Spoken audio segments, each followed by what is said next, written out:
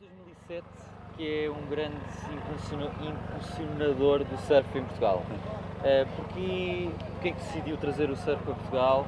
Uh, faz surf? Porquê esse gosto por, por este desporto?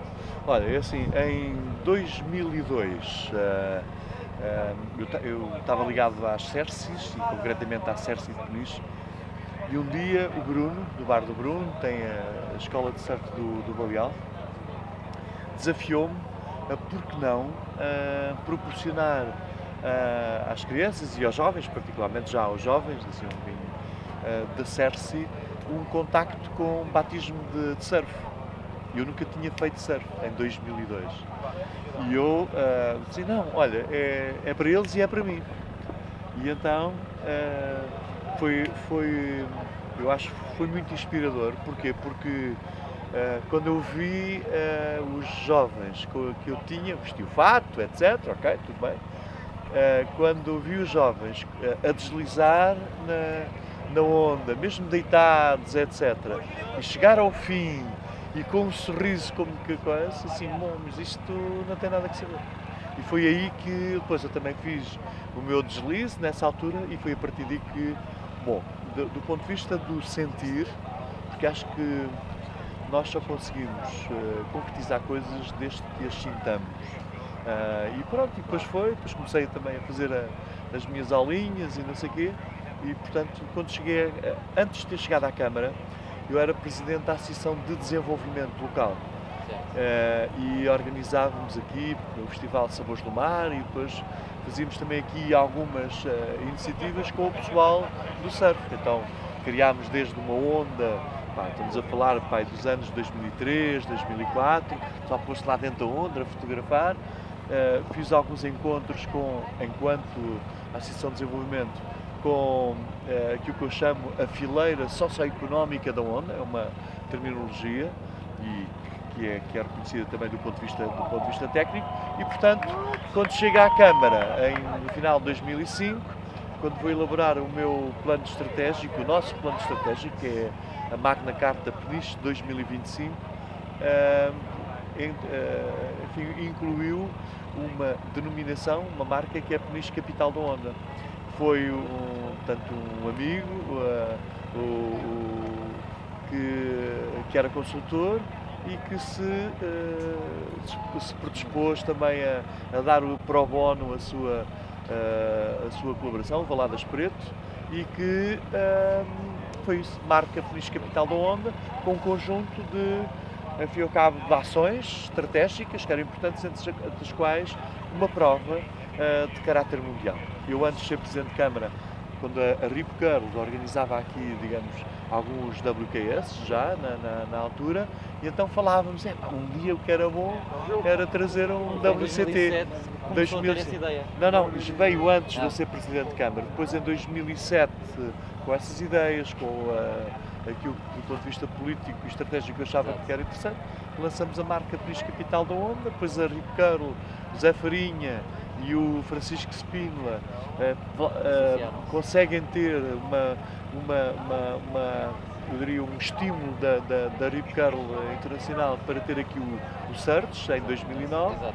então pusemos a caminho os três, uh, falar com o Turismo de Portugal, falar com a PT, falar com a EDP, não, na altura não fomos bem sucedidos com a EDP, bom, mas uh, e depois entrou na terceira, na terceira edição, mas a prova em 2009 correu tão bem, aquela que eu chamo a terça-feira mágica, em que o One Ride, não sei se lembras, teve aquele problema no, no ouvido, aquela queda brutal que teve, mas aquelas, aquela sucessão de, de, de, de notas 10 ali, naquele fim de tarde de terça-feira, uh, de facto foi o lançamento e quando o Mick Fanning no dia a seguir quando ganha a prova e depois em plena, em plena coroação se vira para trás para mim, Mayor, você tem aqui uma onda, isto é digno de campeonato do mundo e eu ali percebi que, que, que, que íamos, eh, íamos continuar e de facto desafiámos uh, o grau de satisfação dos patrocinadores uh, foi tal que não foi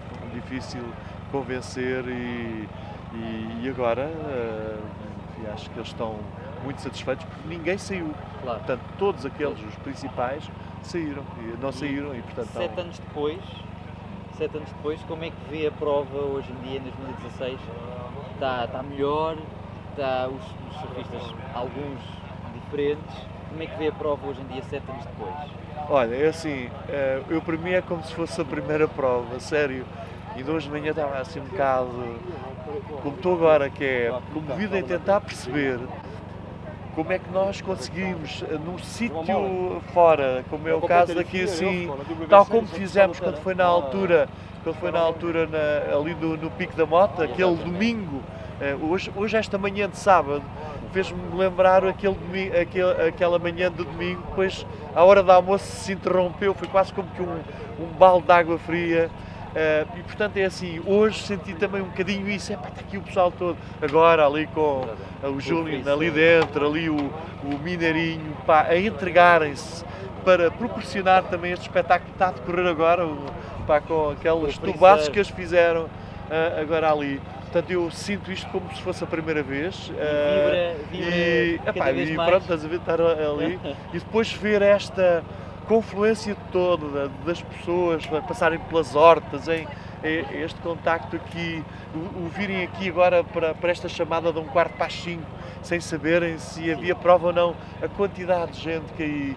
Uh, pronto, é, acho que este é um verdadeiro espírito de, procura uh, e que se mantém. E daí o Certos acho que se ajusta muito às características de Peniche. E este, este campeonato traz, traz milhares de pessoas à Argento de Peniche.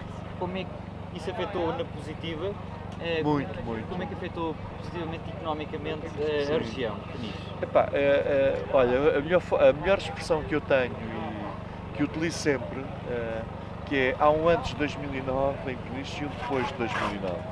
Uh, ainda que há dias, quando foi no dia da apresentação da, da conferência de imprensa, da conferência de imprensa, uh, uh, eu convidei para a conferência de imprensa o Ministro da Economia e a Ministra, a Ministra do Mar e convidei também os empresários e tivemos ali um meeting entre todos e depois ver os investimentos que estão na área da hotelaria, os investimentos na área da restauração, os investimentos na, na, no EcoSurf Resort, o investimento nas novas lojas como esta daqui da, da, da Curl, etc. Uh, eh, são à volta de acumuladamente entre 70 quase 70 milhões de euros de investimentos aqui ao longo deste, ao longo deste tempo e da área da hotelaria, etc.